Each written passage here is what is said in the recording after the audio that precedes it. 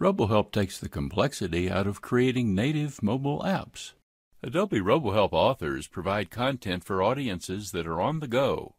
Technical communicators get more and more requests for delivering knowledge bases and help systems on mobile devices. In RoboHelp, there's an output preset for creating a mobile application in iOS or Android. Just specify the iOS or Android platform specifics and you're ready to quick generate. RoboHelp's integration with Adobe PhoneGap makes this very easy. In just a few seconds, your project is ready to install just by holding your smartphone camera up to the QR code. Here I've installed it on an Android phone where it works without an internet connection.